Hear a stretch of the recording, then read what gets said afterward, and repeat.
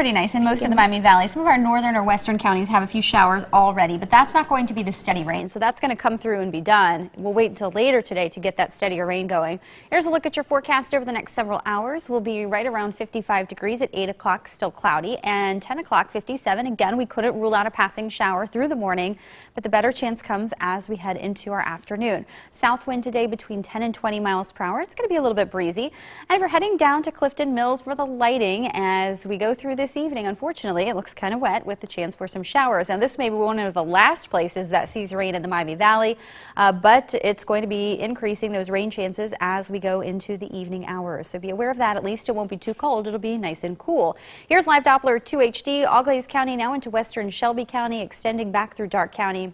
We have those showers, initially scattered activity, but again, this is going to fill in and become area wide as we go through the afternoon. You can see back to the west, we're really just getting the tip of the iceberg here with a few showers. The bulk of the rain is back across Illinois, western Indiana, and down into Missouri. It's just this conveyor belt of moisture riding up along a frontal boundary, and this cold front comes through and brings in some colder weather for the upcoming weekend.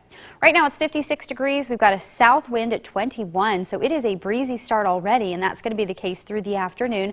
Everyone's generally in the mid 50s now. We have 55 in Greenville, Wapakoneta, 56 in Urbana, and then 54 in Xenia.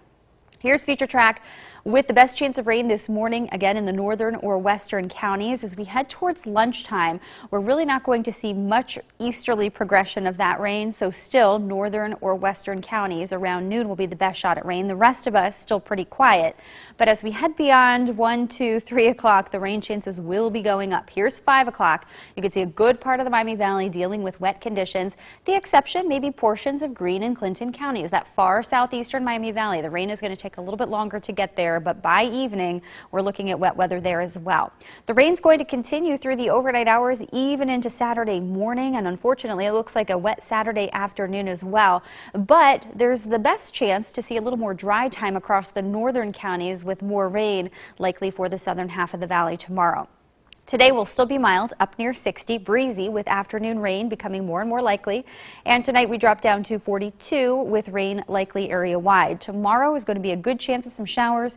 It will be cloudy and cooler with a high of only 45 degrees. Your Storm Team 2 seven day forecast.